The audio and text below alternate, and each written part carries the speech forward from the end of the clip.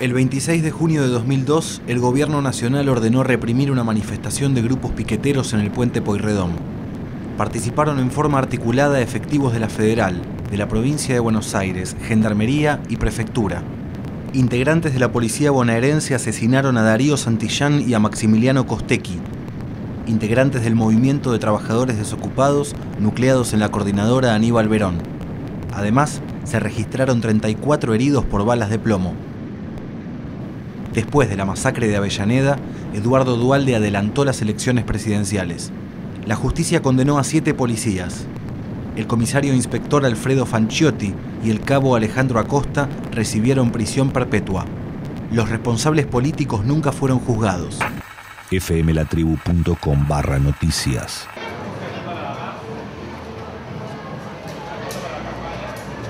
Es un momento de, de recordar a nuestros compañeros y, este, y son 10 años de lucha, 10 años de andar.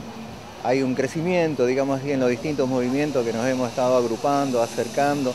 Y, este, y bueno, lo, bueno un poco de todo eso es, eh, es la reunión también, que viene en cumpa de, todos lados, de todos los puntos ahí del país, que venimos a juntarnos y a, a pedir no solo por Darío, por Maxi, sino por Javier Barrio Nuevo, por Luciano Arruga, por Julio López, Mariano Ferreira, Cristian Ferreira. Las banderas por las cuales los compañeros salieron aquel 26 de junio del 2002, muchas hoy siguen vigentes. Yo creo que la precarización de la vida en términos generales, las demandas por trabajo, sobre todo con el 40% de la clase trabajadora en la informalidad, este, las la dificultades del acceso a la vivienda, los, a los bienes necesarios digamos, para mantener una vida digna, la crisis que hay en el sistema de transporte, por ejemplo, digamos, el tema de salir, ir al trabajo y no saber si, si, si llegás a tu casa. Yo creo que ese tipo de cosas son muchas de, la, de las cuestiones que, que, se hicieron fuertes y visibles aquel 26 de junio del 2002, aunque de alguna manera no estén plasmadas en, en, finalmente en, las consignas que quizás eran más, más sencillas, el tema de trabajo, dignidad y cambio social. Este, bueno, son muchos compañeros que en estos 10 años también han sido desaparecidos y han sido asesinados, ¿no? Como nuestros compañeros de Rosario, como Jere, Patón y el Mono. En el sitio donde cayeron los asesinados, bajaron las banderas a empaparse de sangre para alzarse de nuevo frente a los asesinos. Para los que de sangre salpicaron la patria, pido castigo. Para el verdugo que mandó esta muerte, pido castigo.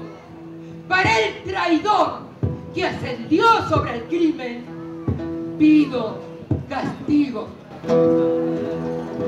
Néstor Kirchner recibió a los familiares cuando, cuando asumió en el 2003 y a una representación de las organizaciones, prometió abrir los archivos de la CIDE, ir a fondo, caiga quien caiga. Eso la, la realidad es que no sucedió, digamos. Hoy nos encontramos incluso con un panorama mucho más complejo, digamos, para mencionar lo sucedido en los últimos días, el traslado de Franchotti al penal de Varadero, un régimen abierto, que nosotros tuvimos la posibilidad de ir, este, y es prácticamente una quinta de fin de semana, de vacaciones, todo ese entramado de, este, que va del Poder Judicial hasta parte del, Poder Político y la Fuerza de Seguridad, hoy se mantiene enquistado preocupantemente en, en, en sectores importantes del Estado. Así llegamos a hoy con la causa de las responsabilidades políticas archivada, en ese sentido nosotros optamos por retomar la mejor tradición de hijos, que si no hay justicia hay escrache, y en ese, en ese camino ha sido la movilización popular la que de alguna forma ha condenado a, a, a Dualde a la marginalidad en principio, y que muchos otros responsables políticos hoy se tengan que cuidar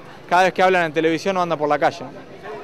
Por esos muertos, nuestros muertos, pido castigo.